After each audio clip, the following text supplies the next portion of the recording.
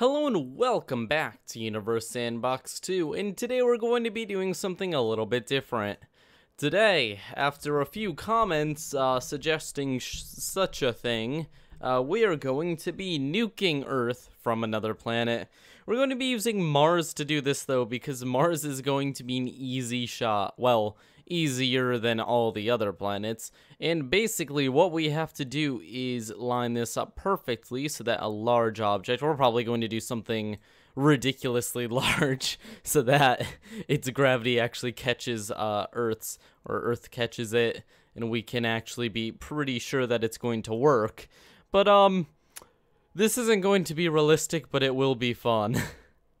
so we're going to start out by slowing things down a lot. What we need is to shoot the object away from Mars, and it needs to curve towards the sun at such a way that it gets caught by Earth's gravity and then hits Earth. So if any aliens on Mars wanted to uh, attack us, this is how we're going to simulate such a thing. So what are we going to be shooting at Earth? It needs to be, why not a moon size object? Maybe. Let's use Sedna to start. So we'll try smaller things in a second if we can even pull this off. There we go. Sedna. Sedna is now there. It's going to start falling directly back into Mars because it does not have the amount... Oh, maybe not. Maybe it did shoot out fast enough. Jeez. Okay, I was going to say it does not have enough velocity, but it apparently does from launching it. So if we're going out of Mars, now is the hard part. We have to make it meet up with Earth. So we need it to be on the same plane. This this is the part that is slightly aggravating because everything in this game is slightly challenging to move. Can we spin it? Th no, that doesn't change its velocity. That would have been nice. Now, if we go down to its velocity, here we are. So we have a lot of x velocity going, of course, in the x direction, which is this way. So y is up and down traditionally. So z is, we need some z force pushing, I think negative z is what we need. Um, so if we do negative, you're not going to let me change that, are you? No, I can't. I can't change that by hand. Okay, that's that's going to be uh, pretty annoying. Oh, can I just... That would actually be nice. No. No, I can't. So we have to change this by hand. So what we're going to do is we're going to get somewhat towards Earth, and we're going to spin this. This isn't going to be accurate at all. This is one of my fears for doing this. Basically, by the time it's here, Earth also needs to be here which at this rate isn't going to happen. It needs to be somewhat more, and it needs to be lined up with Earth perfectly too. So I think we, if we come in at this angle, and we give it a little bit more speed, and the faster we go, the harder it is for Earth to catch it. So this is pretty much everything we're doing is fighting against each other. Um, there we go. I think we may have a chance here. A very small chance. So let's see how this goes as our first test. Sedna being shot from Mars to Earth without doing the calculus out by hand. Uh, well, even if we did, we can't actually do that, can we? So, I guess it's just praying now. So Sedna is going to begin on its journey as Mars moves away from it and Earth is going to move in the same direction as it, somewhat. Here we are. It's left Mars. It's going this way. We have to hope that Earth is going towards it. Ooh, this is actually going to be close. First try. First try, please. First try. No, that would be awesome. If we pulled this off on the first try, the problem is the plane it's not going to be on the same plane as Earth, and it looks like we're going to pass Earth by a tiny bit. But will the gravity of Earth be enough? No, it's not going to get nearly close enough. But actually, being honest, that was close. That was actually really close, uh, considering if we zoom out, that's that's within a margin of error that would make me happy on the first try. Um, too bad we can't go back and correct it from where we were because this is going to be absolutely frustrating to do. So first off, we're using a bigger object. Less realistic, but guess what? We we need Earth to be able to take a hold of it. Second, one huge problem is it's not going to be on the same plane as Earth, which I don't know how we're even going to solve that. It's going to make it extremely hard to hit Earth. But let's try just shooting straight. If we turn like this, and then click right on Earth.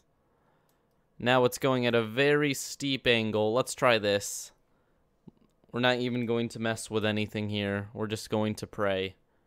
Pluto, I believe in you. Hit Earth. Do your job. Destroy Earth. Oh, geez, you're not going... And when it comes to the plane, we were actually really far off there. okay, Mars, let's give this another shot. We need to shoot a little bit ahead because of the speed at which Earth is moving. Compared to Mars. So we need to be on Earth's... Shoot. That's a huge problem being on different planes like that. It's really, really annoying. Now, we could simulate as if we could actually control the object we're shooting, but I think we're going for just shooting like a really big object to do a ton of damage, in which case that isn't realistic. So, I mean, a lot of the simulation isn't realistic at this point, so maybe we'll try a few ridiculous things in a little bit. Okay, so Pluto is on its journey. Earth's going to absolutely destroy it getting to that point. oh, shoot, I just deleted Earth. Not mean to do that. Hey, Earth, how you doing? Let's wait until Earth and Mars are lined up fairly well.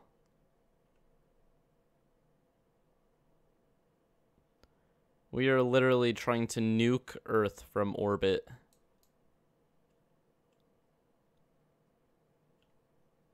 Okay, so I think this is... This may work better. Okay. So from Mars, there's Earth's line. We're just going to aim straight at it. Pluto launch.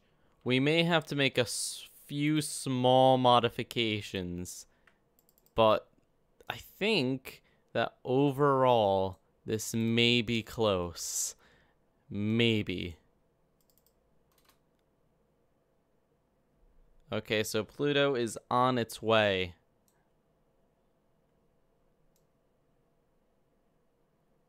A long journey to cross between Mars and Earth. And halfway. And what do we have to do at this point? We should slow down Pluto. Pluto is going a little bit too fast for our liking. So we're going to slow down Pluto about half of what it's at. That's going to give it a good chance of getting... Oh, we need to slow it down even more. Jeez. Okay. Doing slight modifications here. It's just gaining speed. Uh, obviously because of the sun, which I did not factor in. It getting attracted to the sun. Okay, so this is this is close. We're going to have a close flyby here by Earth. Earth and Pluto very close together. Now we've already overshot a little bit.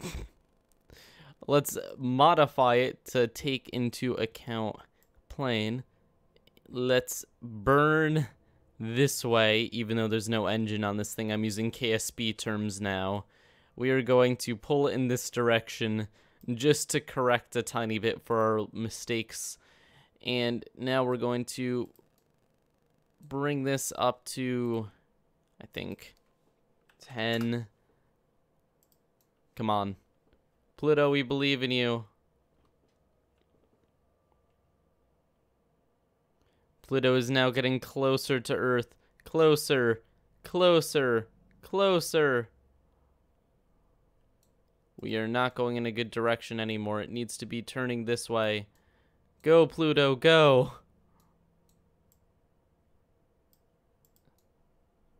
You're not going fast enough, Pluto. Oh, geez. We can actually see Earth now. We are... So our original plans uh, actually didn't suck too much. They weren't good, but it appears at this point that we are actually close to Earth. With even though we are maneuvering it a little bit, this isn't too much of an edit. Uh, it would have only required slightly changing the initial orbit to do this. So I don't feel too bad about modifying it this far. Um, okay, Pluto, you have to catch up with Earth now. So we need to play aim for where Earth is going to be. So Earth is going to be about here-ish. So aim for that. And then you need to beat Earth there. Or meet Earth there, at least. So we're going to make you go very fast now.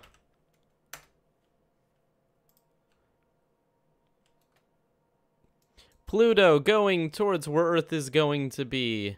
This is going to be uh, quite the quite the experiment here.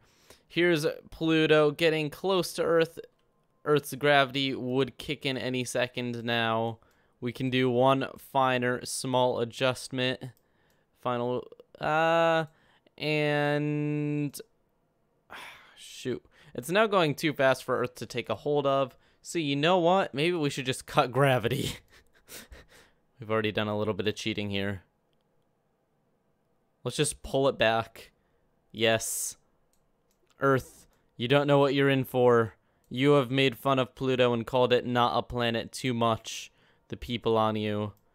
Now Pluto will get its revenge. Here we go. This is...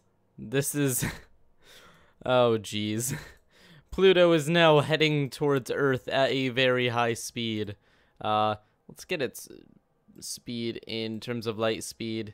Okay, so not not as fast as I originally thought, but at 50 kilometers per second, it is going to hurt.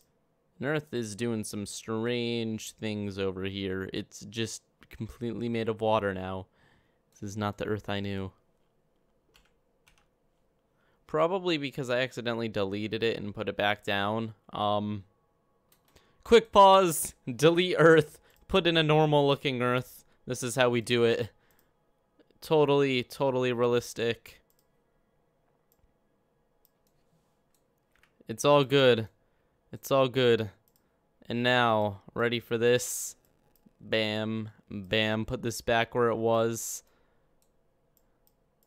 I really would have liked it if I could actually do this properly. Um, slight disappointment in the fact that I can't change the momentum because it makes it definitely a guessing game. Here we go. Pluto smashing into although Earth doesn't have the velocity it should, but you know, I'm not even going to bother with that. At the speed at which Pluto's smashing into Earth, it doesn't even matter. Uh, no, I'm being spammed. I should have I should have done meh, bam. And so, slamming into Earth, Pluto absolutely nuking Earth out of control. That, that was... so, let me tell you how realistically this would work, because this video was kind of, you know, unrealistic, the most unrealistic. So, um, realistically, if you were trying to shoot a projectile at another uh, planet, you'd either have to do correction burns on the ride, uh, like we did, just you can't actually do that serious of them. You'd have to do them all along the way. Or you'd have to line it up pretty perfectly so that either you are dropping it, so you're ahead in orbit, or you're in front it's probably better if you're in front in orbit. Although you'd have to wait a full year to get the perfect shot. You'd shoot it off. you'd get it out of orbit and then you'd make sure that it intersects exactly where Earth is going to be. But you have to factor for the amount of velocity it will gain going towards the sun, and you also have to factor for the Earth's gravity on it, and Mars, uh, in this case, the gravity it has on it when it's leaving Mars. So, through a lot of math, you can figure it out pretty accurately. Um, I'm I'm pretty sure that uh, given enough time, a piece of paper and pencil, and actually being able to modify the motion on these, the velocity. See, it doesn't let me change it. Whoa, it let me change it, but then it freaked out. So it didn't let me set it to a constant. Just, just sad, sad. Um, but overall, that's going to be it for this time, guys. Thank you for watching. Leave us a like and subscribe, and I will see you all next time. If you manage to, uh, using the velocity and orientation tools, nuke something from, from Mars orbit, uh, congratulations. Good job. 10 out of 10. And I will see you all next time nuke it from orbit.